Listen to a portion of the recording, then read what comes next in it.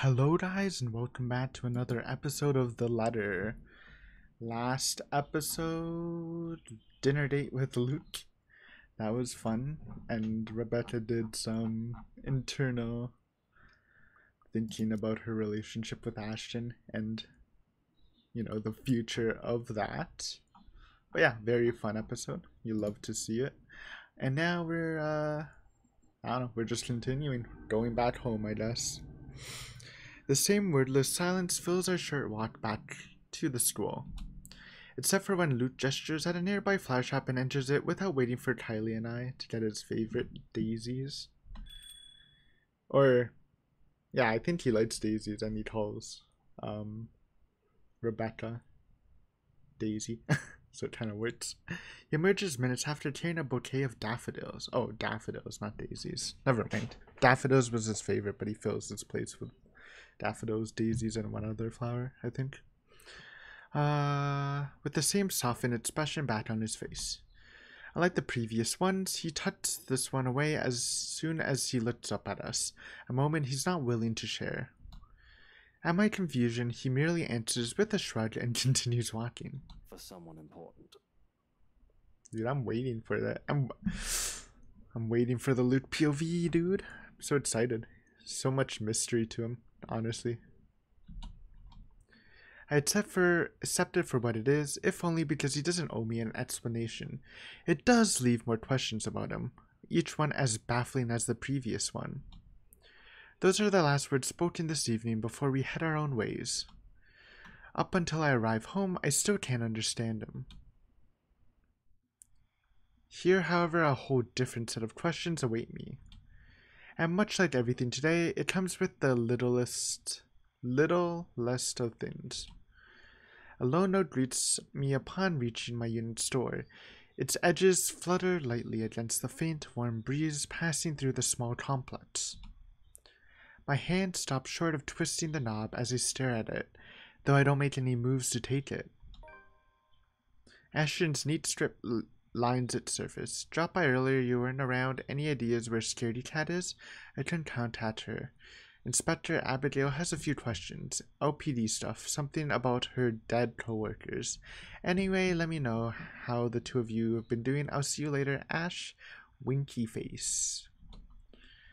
the message he left short and straight to the point, but not without the underlying hint of friendship. He's looking for Isabella, apparently. Something about the LPD's investigation of her co-worker's death, but it ends its formal tone by checking on me. Us. Any other day, the former part of his message will likely prod at the piercing envy I've been holding, while the latter will probably send my heart aflutter. It's complicated. New journal just dropped early in the morning. Luke and Kylie invited Rebecca for dinner as she was about to leave. Despite receiving a text message from Ashton, Rebecca agreed and the three spent the evening at a nearby coffee house. Upon returning to her flat, she found a note that Ashton left her. Little things from him that I want to mean something more. Yet, this time, only guilt fills me and my eyes briefly shift towards Isabella's empty unit. Luke's words repeat inside my head as I do so. Would I leave my own goddaughter in your care if you're just some lovesick woman? Have I always been like this? This selfish? In truth, I've intended to call Ash after that dinner. If I didn't catch him here, invite him to the party like I've planned. There's time and he's still probably awake at around this hour. But my hands won't move. And perhaps it's it is for the better. Until I've had the time to think this through, it'll be best if I distance myself from those I've been clinging tightly to. Find a different perspective and see things for what they are. With a soft sigh, I reach for the note and crumple it under my hand. The knob twists open with much ease when I enter this time. Maybe after some introspection, it'll be easier. For tomorrow, I have that woman and the mansion to worry about. Uh, Stop right before the day end. As per usual, I have the best timing. Alright. The night wears on without further incident, despite the great number of thoughts swimming inside my head. Come morning, there's only a hush, a strange sort of stillness, unlike the ones greeting, greeting me every morn. This one's uneasy, tight with anticipation, like a string stretched thin, merely waiting for the proper time to snap. Granted, it doesn't make my day any less pleasant, but the edge is there. And, as expected, the second I step out of my flat, it comes apart, broken by the voices of two squabbling adults echoing from a floor below. The quiet was nice while it lasted. Shame. What the hell were you thinking? Hey, it's Ashton. And Isabella, probably. I wasn't. Ow! Could you let go? What'd she do? Not a few seconds later, they both ascend the stairs with Ashton pulling Isabella by the by her wrist. She struggles, as she should, but his hold on her remains firm. Freeing herself means having to draw blood as she attempts to pry his hands off with her other one, or using unnecessary force to push herself away. Neither of which is better than the other. One could potentially end in an accident, while the other means to means having to hurt him physically. She has the good sense to realize that, at least. However, it doesn't take the desperate edge in her voice when she answers Ashton's temper with her own. So on they go, none the wiser to my presence. You have any idea how much trouble you could get in? That's why I'm asking you for help. Is this what you've been doing these past three days? Because this doesn't make your case convincing, Isabella. Rose died, Ash. I know. Every single person in Luxburg knows. It's on the damn news. But that doesn't mean. People are missing. Some of those are my friends. And BRC's just covering it all up. You can't just barge into my office and expect me to do anything about it, right off the bat. This isn't a children's game, Isabella. We have procedures. We have to follow protocol. There's red tape all over this case for a reason. We sure as hell don't investigate things just because some stupid letter spooked us. I mean, it's. I still, you know, probably a point, but I still think the fact that the murder scene had the freaking. the letters, like, message and the same font all over the wall is kind of. kind of telling. I don't know. I'm not a cop, though. You have to believe me this time. If we don't do anything right now, more people will. It's been a whole week. This stupid letter prank is getting old real fast. I'm sick of it. He's sick of it. It was funny the first time, not so much now. You're the only one that can help me with this, Ash. Even Rebecca won't. All right, you two are awfully loud. What's going on here? What's going on here? Both of their heads snap up, almost in unison. A displeased frown is on each of their faces, but this is a necessary interruption. What can they do? People still in their units have already taken interest on the commotion, with some taking a peek behind their curtains, while others are bold enough to treat open their doors, if only slightly. If they didn't keep it down, pretty soon her landlady will show up.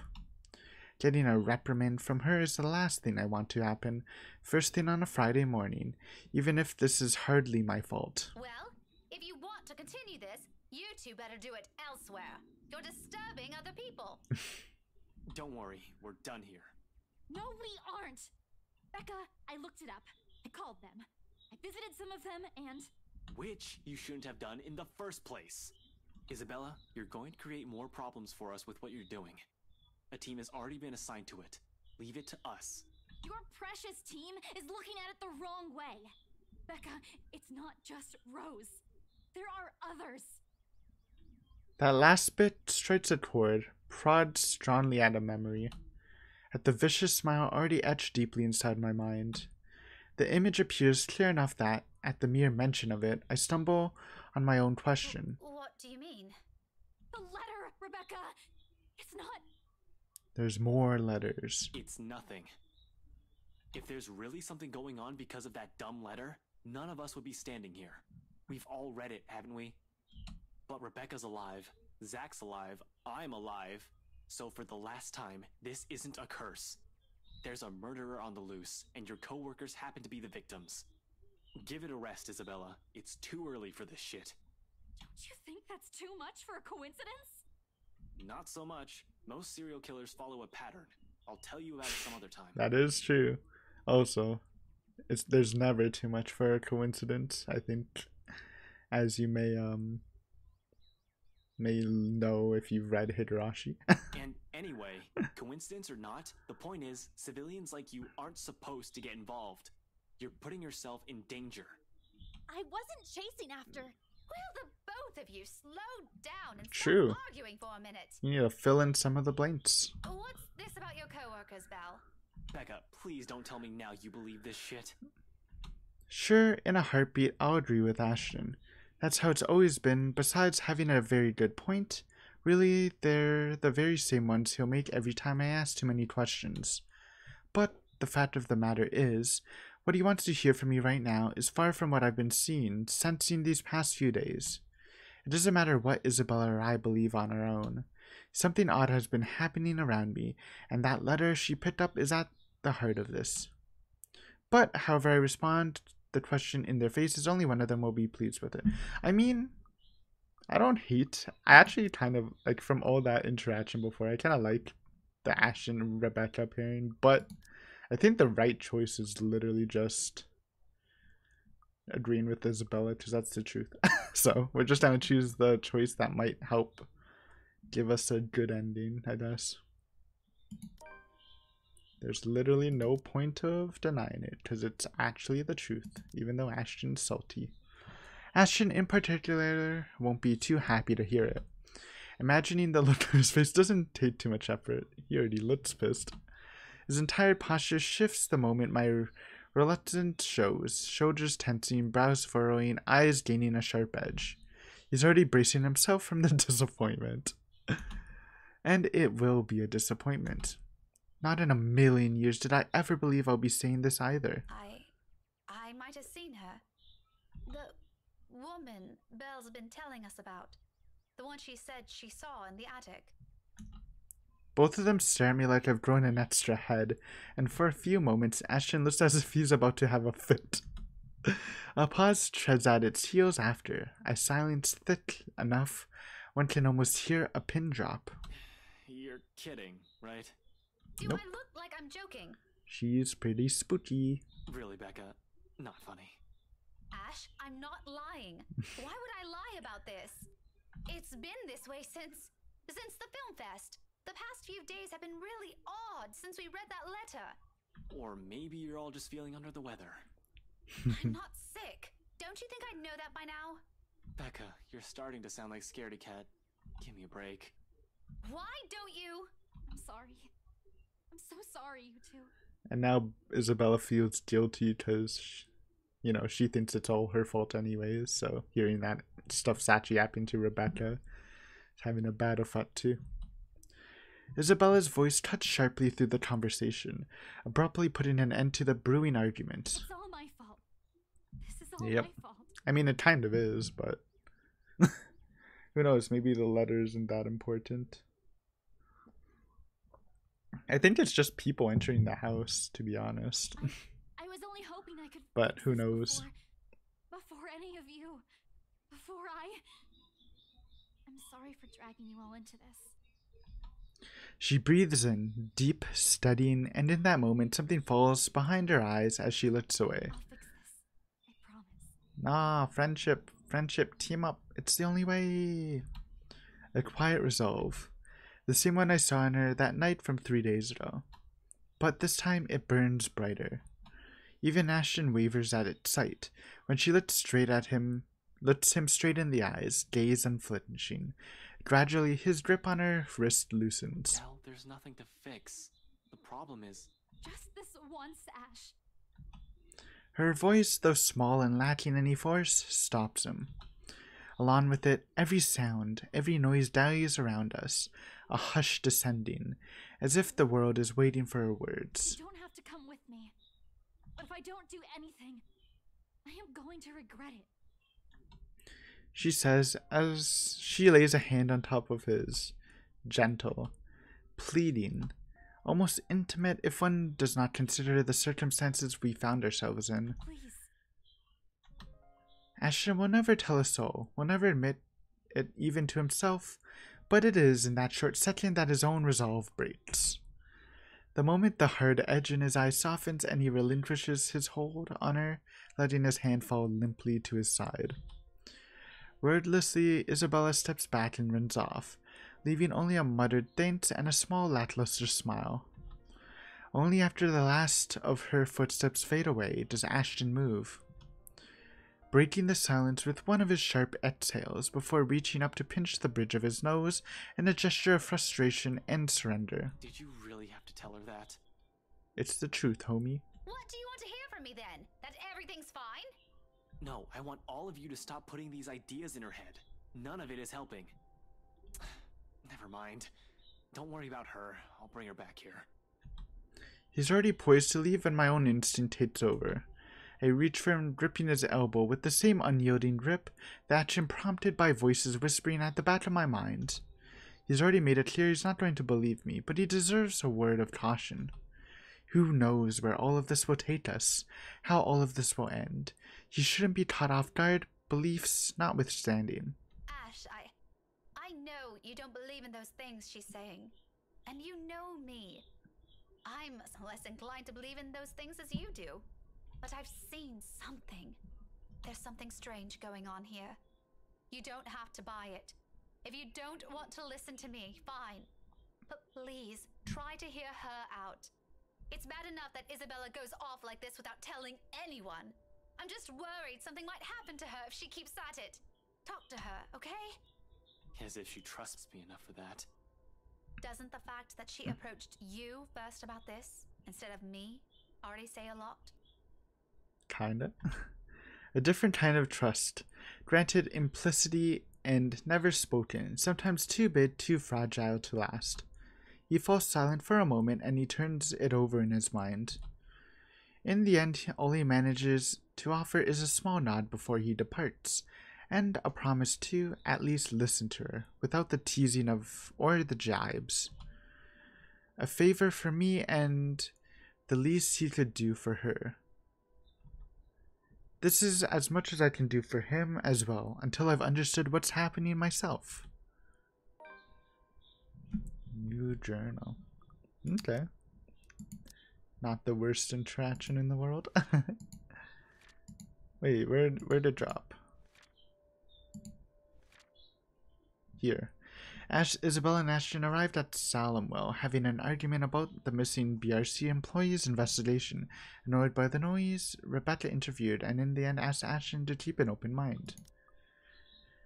Tonight, hopefully, where this all started, will provide the answers I'm looking for. Dinner party. Woo. Ermengarde Mansion. Except the whole thing's off to a bad start, and all of a sudden, whatever Isabella claims dwelling in this mansion becomes the least of my concerns. Of all the cabbies in Luxembourg, I have to chance upon the superstitious one. Still not as bad as finding out your car's starter refuses to crank on when it was still working this morning. Yes. But it's equally as frustrating when you're forced to walk the rest of the way. Oh, does the cabin driver? That's sucks, dude.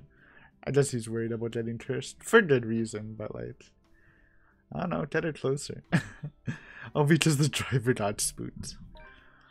Comes with the territory of a cab driver. Sometimes you gotta risk it for the biscuit. Isabella and him will get along so well. I do that as reasons. After all, I've had my fair taste of the bazaar lately. All of which might have been brought upon by the letter Isabella found here.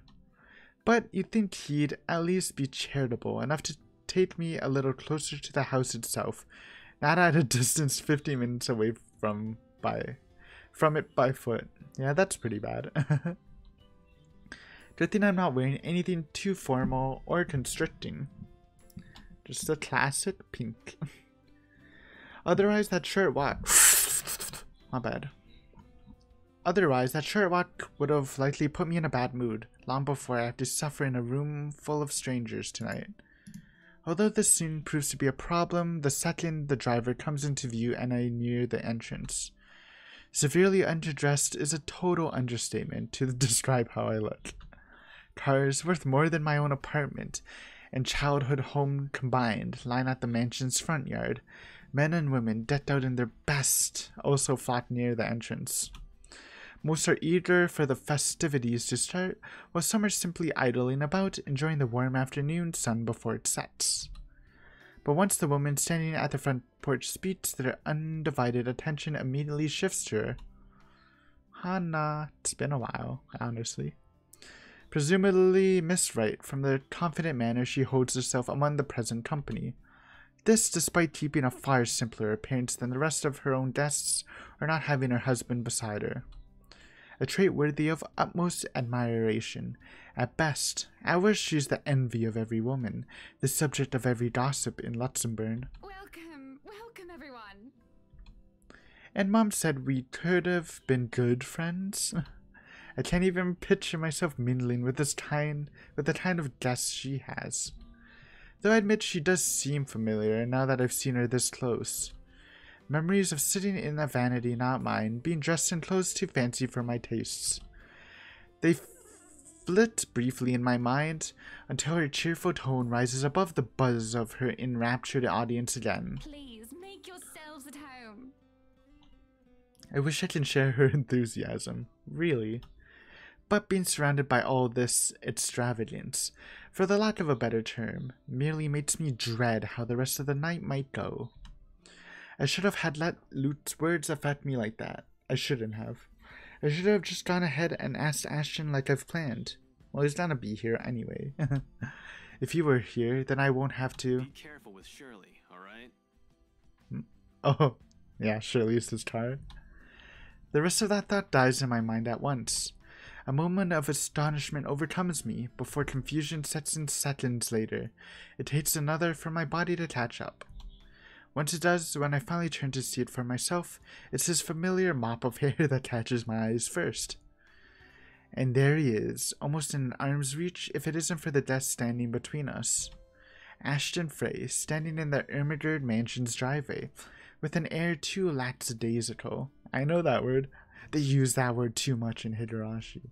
I, it's now ingrained in me because every time I see it, I'm like, oh, what's this word? I have to Google. Then someone's in the comments saying, Aiden, you already looked at that word. I remember it now. For someone who absolutely abhors parties in any form. Or has any business here, as far as I know. The picture it forms is too bizarre for me that my mouth speaks out ahead of any coherent thought.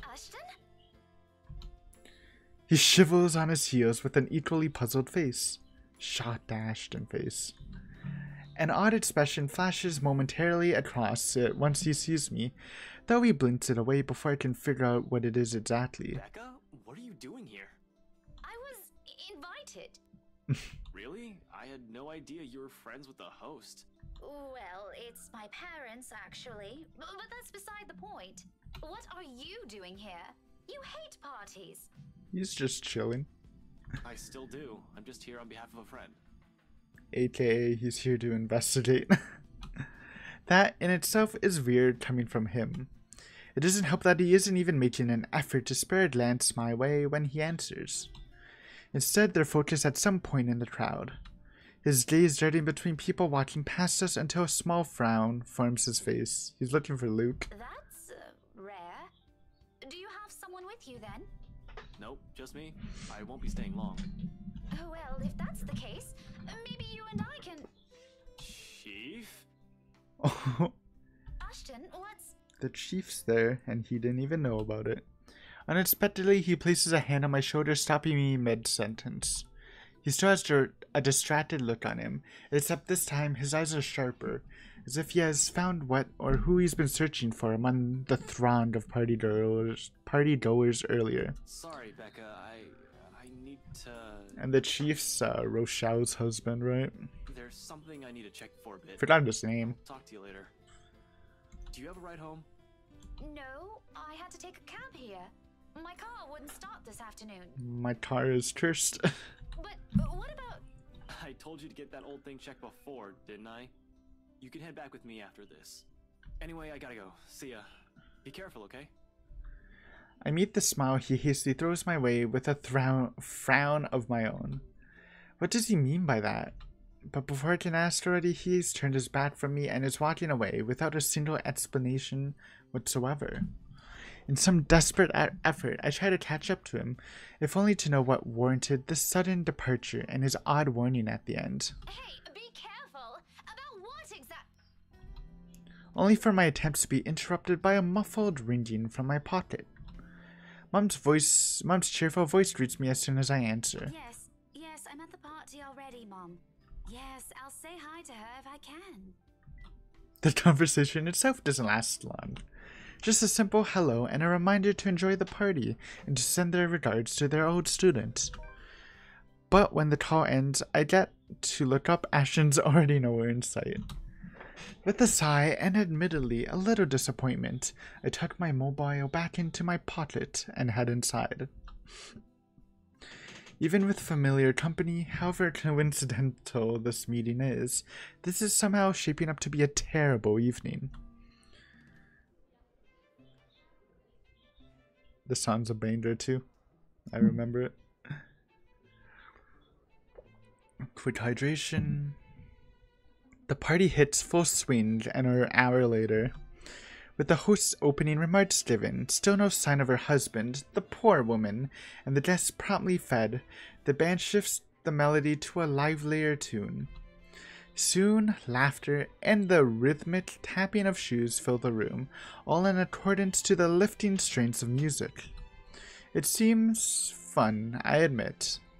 Fascinating at certain moments, the flurry of dancers making the music their own, almost with no care in the world. If it weren't so indisposed, I'd have joined them. I'd have joined the crowd for a song or two. There isn't a lack of invitations anyway. Plenty of them, in fact, with some asking more than once. Nice. it's only my stubborn refusal that prevents me from joining them. And I can. A single nod is all it takes, and the evening would have been far enjoyable for me. But pride and my own silly hopes, the thought of being seen with one of them by him, curbs that, as much as I hate to admit it. Because doing so also means outright acknowledging the douche's claims. That he has to be the one to tell me that still sends my blood boiling. I would have preferred someone more agreeable, less of an arse. It's a hard truth to swallow, especially when the very person at the center of it makes denial difficult. Can't even spare a minute of his attention or a single glance at me the whole evening. Hell, Zachary might have spoken more words to me. Ah, yes, he's chilling here too. The big guy's busy covering the event to boot. But at least he manages to slip in a conversation or two between tates or a small wave of his hand when he passes by. What's Ashton's excuse? He's been flitting in and out of sight the whole time. One moment he's hanging around a small group, in another he's hovering around the string band. Just a second ago, he's wolfing down some deviled eggs by the buffet table, a glass of wine in hand.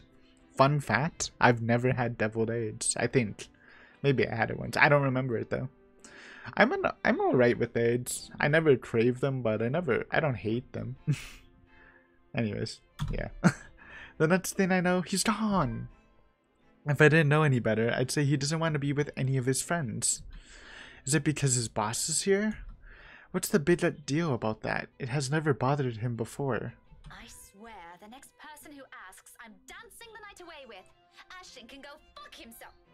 You would catch his eye a lot better if you wore nicer clothes, don't you think? Nice. Her voice almost makes me jump, too focused on the gobshite wandering around the ballroom and my own annoyance to notice. If she's heard any of the profanities I've mumbled, or she's taken notice of my discomfiture, she makes no comment on it, merely greeting me with a smile when I turn my attention to her. Miss Hannah Wright gives off a whole different air when she's not speaking to an audience. Homely, a bit too friendly for my liking. But I guess that comes from being raised in such an environment and having to deal with pompous, snooty people. Though I suppose nothing has really changed from years ago. I remember her carrying herself in the same manner during that one and only visit. Does she remember any of it? I won't be surprised if she doesn't. It has taken me a while myself. She's probably met a lot of people like little Becky throughout the years. Might have already forgotten about me or my parents. People like her thrive on connections, after all. Nevertheless, I returned a smile, awkward and stiff as it may be. Didn't realize the housewarming was going to be this uh, fancy. I would have gone with a nice dress if I knew. Oh, you're fine, dearie. It's only really the parvenu, those who climb, that come to these parties all dolled up. Quite the black-haired beauty, isn't he? It takes me a while to realize who she's talking about. Until Ashton walks by again, in closer proximity than any of the times he has done so far this evening. Still without a look of acknowledgement our way, though, even if Miss Wright speaks loud enough to catch the attention of anyone within earshot. Who, Ash? You know, you really shouldn't have turned down those offers. If I wasn't married, I'd happily go dancing with those young men. But you said a name Ash. That's the exquisite lad you've been looking at all this time. I don't know him, and I'm the one hosting this party. That must mean you know each other. Is he your boyfriend then? Because that would explain those rejections.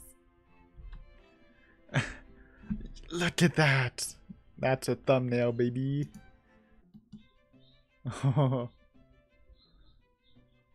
Pretty cute. This isn't the first time someone has made that assumption. Almost every student I've had did in the past. My coworkers more often than not assume he is. A few of my neighbors also think for an item. Not that Ashton ever has ever reacted to those. He's been quite indifferent about it, in fact. Still, the heat of a blush creeps up my cheeks, a denial ready, despite wanting it to happen so badly myself. What? Boyfriend. Such a violent reaction. A simple no would have sufficed. Many here would be happy to hear it. And I haven't been looking at him. Eh, it sounds like you have been. I do my best to summon a straight face, but before her good cheer, it easily falters. That's right. You've been staring. Quite heatedly, in fact. Although I'm not sure if you look like you want to kiss him or kill him. It's more the latter currently. Just don't go murdering him on my property. it's already cursed. Don't need more ghosts. Imagine being haunted by freaking Ashton, man. I don't want to walk into a room and suddenly find a body there. It's infectious in a way. No sooner I find myself enjoying our chat more than I've imagined myself to. Although her attention briefly wavers at one point, she remains a good companion. Even more, once I've mentioned who my parents are, her face quickly lights up, and a fondness graces her face, despite meet- the meeting from several years ago being a short one. But of course, there are some things we really can't avoid talking about. After all, it's one of those, one of the few things I remember her asking me the moment she spotted little Becky in the room. Do you have a boyfriend? In retrospect, it's an odd thing to talk about as children when there are loads of things we could have started with. Yes, oh, I remember you. You were the cutest little thing with glasses. and when we met, you were having boy troubles with this lad called something with an A. For that long. I believe I still have the clothes she gave me, chosen all so I could impress him. And even back then, Ashton has always been denser than a rock, and that one attempt to get him to notice backfired spectacularly. Sure, he's keen, he's a detective for heaven's sake, but feelings, more often than not, escapes him. what was it again? Aaron, Alan, Adele, Albert, Alexander, Andrew? which makes this whole talk all the more embarrassing. And the more names she lifts off, the more my discomfort grows until she smiles, until my smile turns into a grimace. What will she think of me? Here she is married to a man she pro- most probably loves at that, while I'm stuck in the same place, yearning for the same person. Ashton! Ash! That man is that boy! The same one. Oh, goodness me, after all these years! We're hard stuck. I can see why, though. He's quite dashing.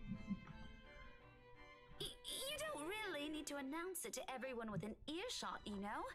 Keep it down. I'm so sorry, but it really is cute. She says that, but for a short moment, a hit of pity flickers in her eyes. I take that as a chance to change the subject before anything more can be said over the matter. I haven't figured out how I should feel about things Luke told me. Now I'm getting dragged into a similar discussion. Uh, nice party, Miss Wright. Though to be frank, I doubt she's she'll be willing to pass this up. The topic has already captured her attention. Please, Hannah's fine.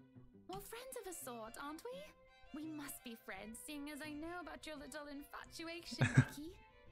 Don't you worry, dearie. You'll have your happy ending yet. I'm not too concerned about that, am I? Uh, that's not what I'm looking for. Oh? And what makes you think that? Doesn't everybody want their happy ending? Uh, the idea of happy endings sounds like they're just for fairy tales. And they are, sorta. I don't think you can just sit around, trapped in some tower and hope for the best. If you love them, you have to fight for it, right? That's the based answer that we chose to follow. You know, trying to save the marriage. You're not just Thank you for saying sit it, there Rebecca. Everything will just fix itself on its own. Like everything, you have to work at it. Hypocrisy. That hypocrisy. hypocrisy. hypocrisy. That's what this is. How dare I preach about something when it's exactly what I've been doing? True. And then, and then, I go and act as if I'm entitled to any of it. That by virtue of us growing up together, he must return whatever I feel for him. That he's not allowed to look at another because I'm the one who stayed by his side the longest. When in the first place, Ashton has always been his own person. This is something I cannot force on him. I can only hold onto these, take care of it until the time comes I can confess it to him. Excuse me.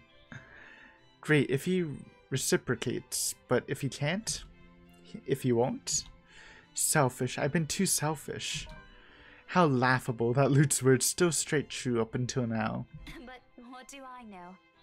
I'm sure the daughter of the two greatest professors I've ever known is smart enough to know what she's talking about. At one point, maybe I would have easily agreed to that.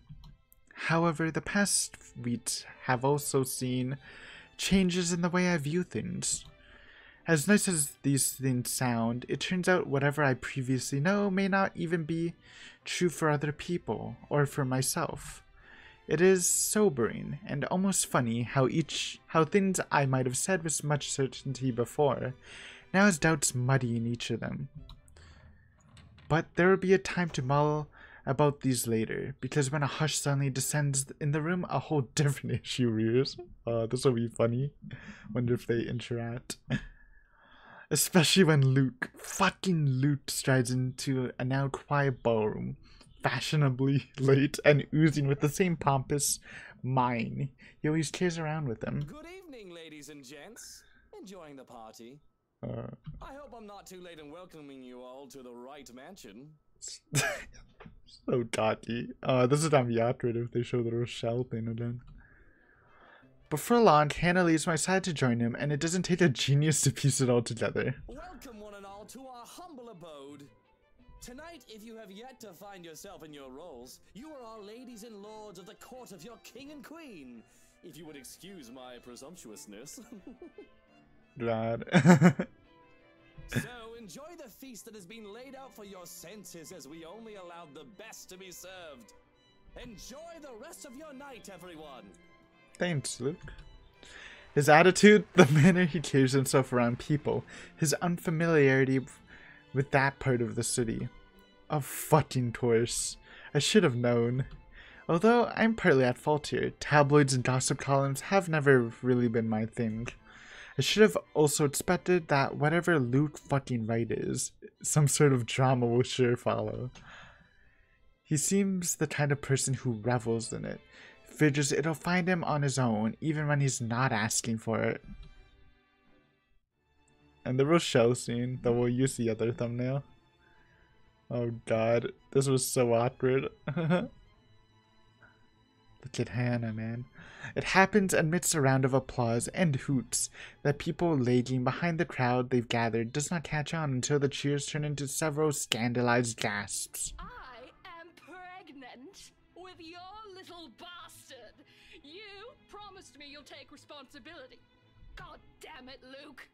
I finally got you to talk to me after months of silence, and you do this to me. What do you mean you're pregnant with? Luke, is this true? Lies and slander, woman! Security! Johans, take her out of here before she makes an even bigger fool of herself! No, no, you do not do this to me. I was so ready to leave my stupid oaf of a husband. I told you to leave that damn wife of yours. Jesus. Look at her.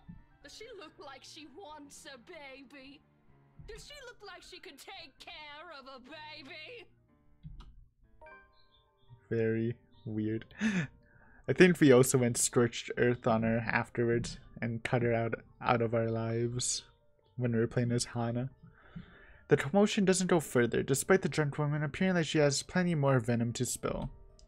In a little while, security shows up escorting her out. Apparently, she's the chief inspector's wife too? As if this whole thing can't get any more fucked up than it already is. What a mess. But the damage has been done, and beyond the repercussions this will bring, I'm more worried about Hannah. Maybe Luke too, in part. I've seen the man that hides behind his self-importance, and it is someone who cares for the person who stands beside him. No matter how questionable that is now. After all, no anger is worse than that of a scorned woman. And Hannah, while as refined and well-mannered as she is in front of her guests, I'm not sure she'll be all too willing to tolerate this. Her party, her home, her husband, and that woman has just dared to walk all over it. Yep, that was kind of our reaction. it's in her eyes when she turns to her, the face of someone who demands she must be given the same respect she has long deserved. You are no longer welcome in any of our states, our properties, and our businesses. And we will no longer patronize yours. You're cut out of here. Now, escort the girl and make sure she isn't standing even an inch within our grounds. Hannah's outrage is a strange sight to witness after those smiles and the grace she has carried herself through the entirety of the party. Like this, her eyes burning bright with fury. I doubt she can do much more. Ruin the scandalous woman if need be. Shaming her is already an act of mercy, generous enough coming from her. You won't show your face to me ever again if you know what is good for you, Rochelle. Take her away. No one protests, not even the subject of ire, as she is forcefully dragged out. even the smile on Luke's face wavers when she eventually turns to him and pulls him out of the room for a talk of their own. For a brief moment, there's a concerted effort between those left in the hall, a short second of tense silence while struggle to figure out what to do with themselves. But true to the kind of talk these situations attract, it won't last too long. Alright, I think this is a good point to end. Um, some drama, some fun interactions with Hannah. Um, next time we'll continue off the party, see what happens, because this is also because Marianne might be freaking locked in the secret basement thing by now, so that's not exactly good. Maybe we can rescue her. Who knows though. Until then, I'll see you next time. Bye.